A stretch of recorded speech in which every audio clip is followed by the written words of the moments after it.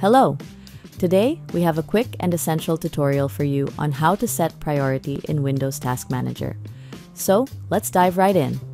First things first, press Ctrl plus Shift plus Escape on your keyboard to open the Task Manager instantly. Alternatively, you can right-click on the taskbar and select Task Manager.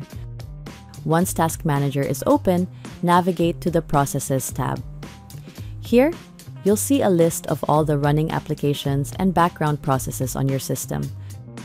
Identify the process for which you want to set the priority. Right-click on it to reveal the context menu. Now click on Go to Details.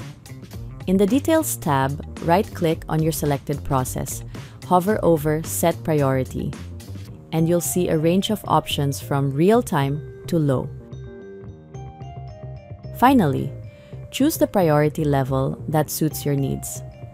Keep in mind that setting a higher priority can improve performance for that specific task, but be cautious not to set everything to real time as it may impact system stability.